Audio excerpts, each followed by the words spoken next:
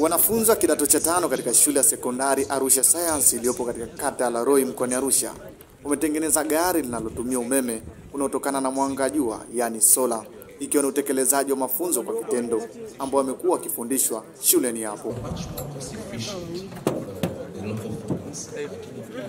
Uwezo wa gari hili ni kutembea kilomita 160 likiwa na mzigo mwepesi. Baada ya hapo linahitajika kuchajiwa tena.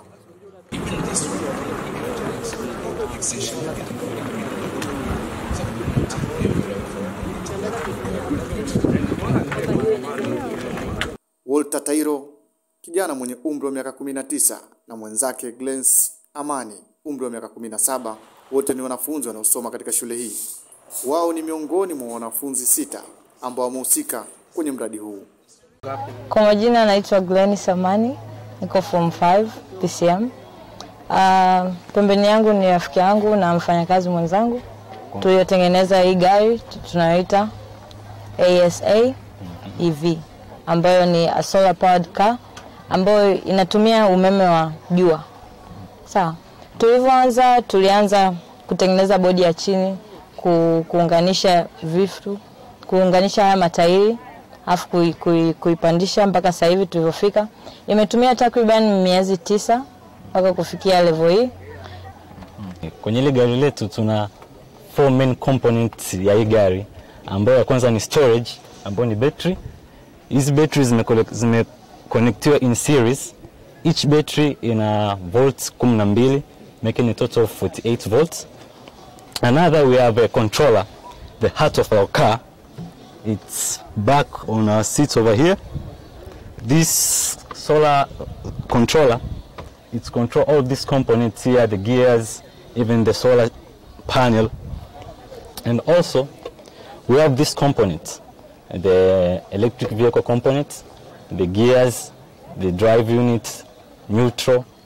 Even also we have the accelerating pedal ya kukanyagia mafuta na tuna brake tumetengeneza, but brake yetu hapa sio hydraulic, ni manual, tunatumia ni kama guta.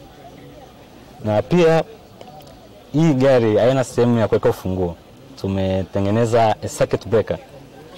Hii circuit ambayo iko kwa nyuma yangu hapa ndio inatumika kuwasha gari, kuwasha na kuzima.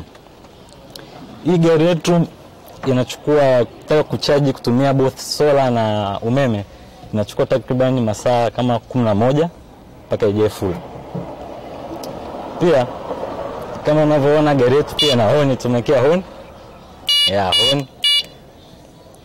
Also the project here is not yet done, bado tuna mpango wa kule, kuliendeleza gari letu kuliwekea teknolojia kama Tesla. Unavyomjua magari ya Tesla, tunataka tuweke automation kama tunavyofundishwa madarasani kuhusu ICDL. We are learning something called Internet of Things. Yeah, but that Internet of Things using it's just the subject dealing with these sensors equipment which use internet to control.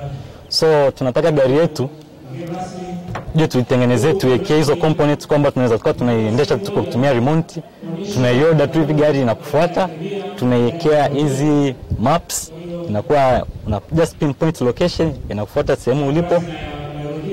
Yeah, that is our aim of this goal. And this car was mainly used it's kutumika kubeba mizigo Hapa shuleni hapa shuleni. It's just all this just campus of the school.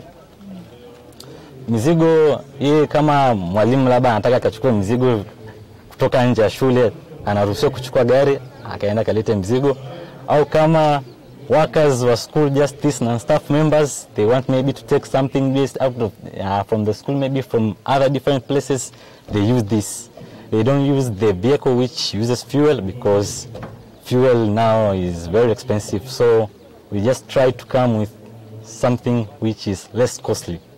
Yeah this solar car. Inabeba yeah. uzito kilo ngapi? uh, gari yetu inabeba uzito wa nusu tani na pia kilo zake ni kilo mia sita. Na pia maximum speed ya hii gari ni 60 km per hour na inaweza kutembea kilomita mia sitini mpaka ishi. Na kwenye betri zetu hizi ina, out, ina automatic system kwamba volt ikipungua ikifika 41 gari inajizima inakuwa inatumia package chaji ikishavuka asilimia ikishavuka volt 41 unakuwa tunaweza unaweza kuitumia kuendesha dunia watatoka, inabidi watoke Afrika, hakuna mahali pengine wanaweza. Kwa hiyo kwa kweli mlaze damu. Hiyo ndio dhana yetu kwamba Arusha Science iwe ni kitovu, iwe ni chachu ya kuisaidia Afrika ifikie lengo hilo. Ninawahakikishia kwamba mkiendelea hivyo mnapokwenda The sky is not a limit. The sky doesn't stop on your way to space. Mtafika mbali. Kwa hiyo hii elimu inayotolewa hapa ni nyingi, inachanganya sayansi na teknolojia. Nasema hivyo kwa sababu nime eh, nimepitia wakati mgumu sana wa kuunganisha sayansi na teknolojia. Nimepitia wakati mgumu sana wa kujifunza sayansi na teknolojia. Sasa nimemwambia kwamba eh, nitarudi kufundisha hapa. Sasa nikatakia Amen.